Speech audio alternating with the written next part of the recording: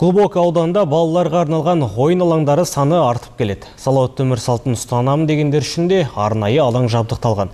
Бұл азаматтарға қолайлы. Тұрғындар бос уақыттарын осындай жерде өткізіп, демалып қайтады.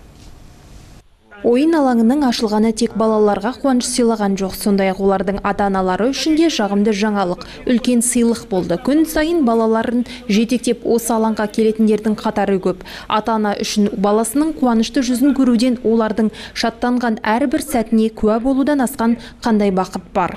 алпыс жетпісте үй тұрамыз балалар өте ұсақ кішкентай немерелеріміз балаларымыз өте көп бұрындары ата әже- әжелері қалаға апаратын мына өзіміздің көршілес ә, прапорщик ауылындағы мектептің ауылына айналасына ә, ойын сауық орналастырған болатын балалар ойнағанға соған барып тұратынбыз ғой Әсел Қазыбекова глубокое ауданында атқарылып жатқан игі істерге дән риза. Бүгінде ойын алаңы балаларымыздың сүйікті демалыс орнына айналды дейді ол. көшеде міне ә, ойын алаңы ашылып балаларға өте жақсы жа- жағдай жасалып жатыр өте ризамыз міне біз тұрғалы төрт жылдан уақыт асты содан бері міне біз жолдың ар жағына баратынбыз өте қауіпті болатын міне қазір міне үйдің алдында балаларды шығарып жібереміз ойнағанға өте ыңғайлы балаларымыз өте риза Жобаны іске асыруға 10 миллион теңге көлемінде қаражат бөлінген. Мемлекеттік сатып алуды өткізу қорытындысы бойынша 9 миллион теңгеге шарт жасалған дейді жергілікті атқарушы билік өкілдері.